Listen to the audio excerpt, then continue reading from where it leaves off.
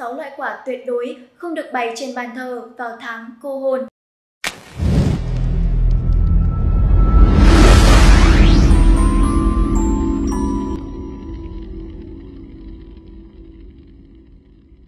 Xin hoan hỉ gửi lời chào thân mến tới toàn thể anh chị và các bạn đã quay trở lại với kênh Phong thủy Sa Cát.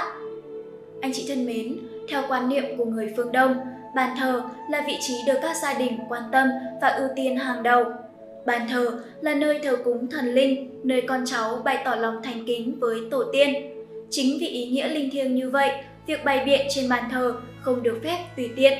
Các loại bánh kẹo, hoa, nhất là trái cây dùng để thắp hương cần được chú ý về mặt hình thức lẫn ý nghĩa.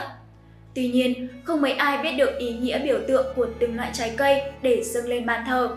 Có một số loại quả tuy rất đẹp mắt và bổ dưỡng nhưng lại mang ý nghĩa không được tốt, vì vậy tuyệt đối chúng ta không được phép đặt lên bàn thờ. Vậy đó là những loại quả nào? Mời quý anh chị và các bạn cùng kênh Phong Thủy Gia Cát đi tìm hiểu trong chương trình ngày hôm nay. Trước khi đến với nội dung chi tiết, quý anh chị và các bạn đừng quên ủng hộ kênh Phong Thủy Gia Cát bằng cách nhấn đăng ký miễn phí kênh và nhấn vào tín hiệu chuông để không bỏ lỡ bất cứ video nào. Đồng thời, quý anh chị có thể tham khảo thêm những thông tin về phong thủy, tử vi tại phần mô tả của video này. Còn bây giờ, xin mời quý anh chị và các bạn cùng đi tìm hiểu nội dung chi tiết. Trái cây là kết tinh cuối cùng để con người thụ hưởng từ cây cối, từ sức lao động chân chính. Quan niệm kết quả thể hiện sự viên mãn, đủ đầy, là biểu tượng của lời nguyện cầu của con người. Vì thế, trái cây trong phong thủy dâng lên bàn thờ gia tiên hay bàn thờ ông địa, thần tài thường được phân loại dựa vào đặc trưng tuổi thọ, giàu có, sự thịnh vượng và phát triển sinh sôi.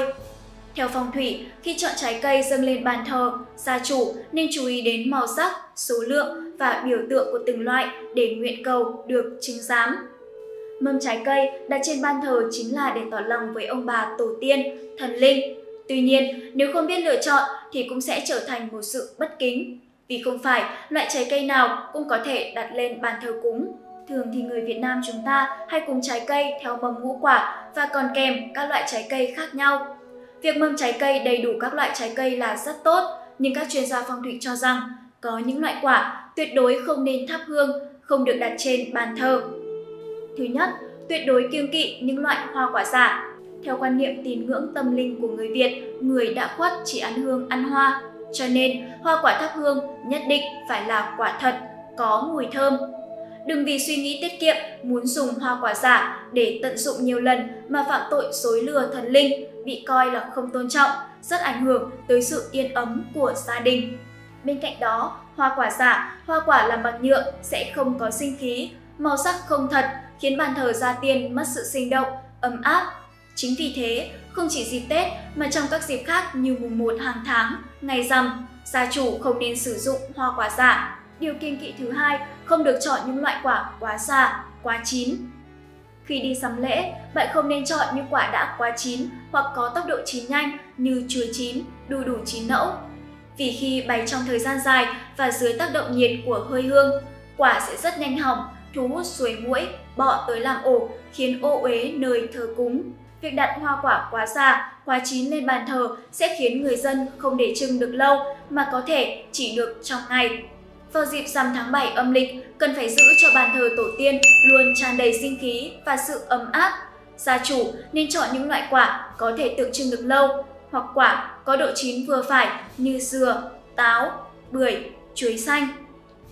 Thứ ba là tuyệt đối kiêng kỵ các loại hoa quả có gai sắc nhọn. Nhiều gia đình nghĩ rằng mùa nào thức đó hoặc người trong nhà thích ăn loại quả nào thì thắp hương loại quả đó. Tuy nhiên, xin lưu ý với các gia đình là không nên lựa chọn những loại quả có gai nhọn đặt lên bàn thờ, đặc biệt trong ngày rằm hoặc mùng 1. Bởi theo quan niệm phong thủy, dùng những loại quả có gai nhọn để thắp hương sẽ làm ảnh hưởng đến gia đạo, sự bình an của các thành viên trong gia đình. Thứ tư, các gia chủ nên tránh những loại quả có mùi quá nồng.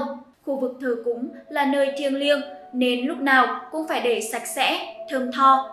Chính vì thế, hãy lựa chọn những loại trái cây có mùi thơm nhẹ nhàng là hợp lý nhất. Đừng chọn các loại quả có mùi quá nặng như sầu riêng, dù người quá cố có thích ăn hay không. Gợi ý thích hợp nhất là các gia chủ nên chọn các loại trái cây có mùi thơm cho không gian thờ cúng, bàn thờ tổ tiên thần linh như thị, Phật thủ. Thứ năm, kiêng không lựa chọn những loại quả mọc sát đất. Những loại quả có họ hàng với nhau như cà chua, me hay thanh trà và đặc biệt là các loại quả mọc sát với mặt đất cũng là những loại hoa quả mà gia chủ không nên lựa chọn để thắp hương trên bàn thờ gia tiên bởi những loại quả này không mang ý nghĩa cao sang. Nếu lựa chọn sẽ trở thành thiếu tôn trọng. Thay vào đó, những loại hoa quả gia chủ nên lựa chọn tốt nhất đó là đu đủ, cam, xoài, lựu hoặc nho. Thứ sáu, tuyệt đối không dùng trái cây có vị cay, đắng hay chua. Những loại quả có vị cay, đắng như ớt, khổ qua không nên đặt lên bàn thờ để tránh liên tưởng tới những đắng cay trong cuộc đời.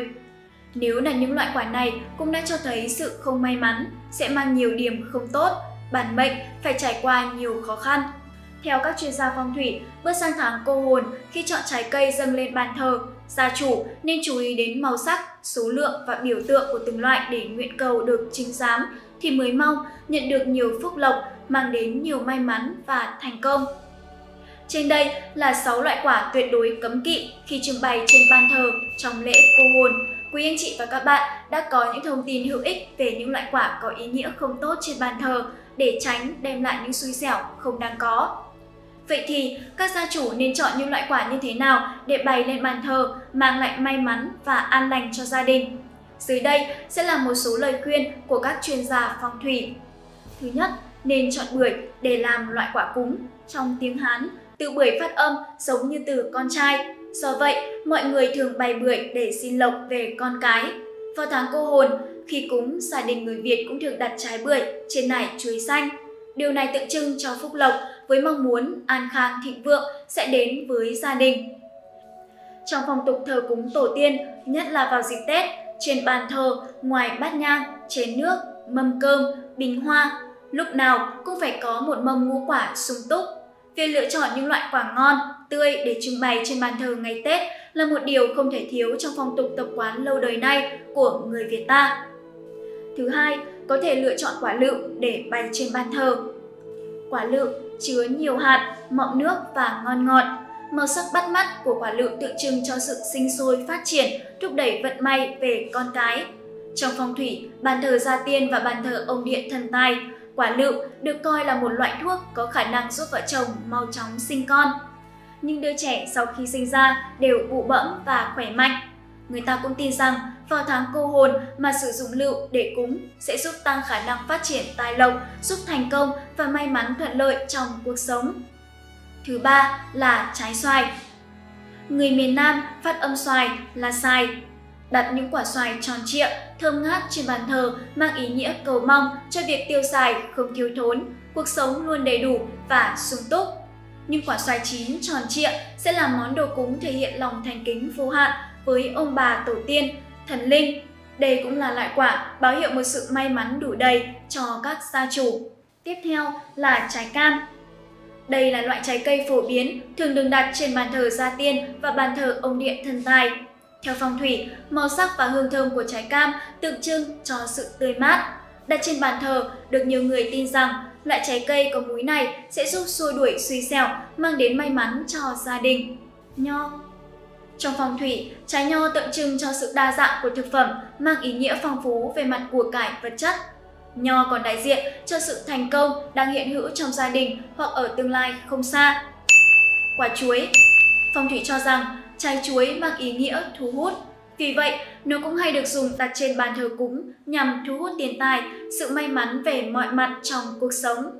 Tuy nhiên, loại trái cây này tránh mang đi tỏ mộ bởi có thể sẽ chào đón các vị khách không mời mà tới. Đào Giống như trái cam, đào cũng là một trong những loại trái cây phong thủy phổ biến được đặt trên bàn thờ gia tiên và bàn thờ ông địa thần tài Quan niệm phong thủy tin rằng quả đào là biểu tượng của sự bất tử liên quan đến sự giàu có, sức khỏe và tuổi thọ.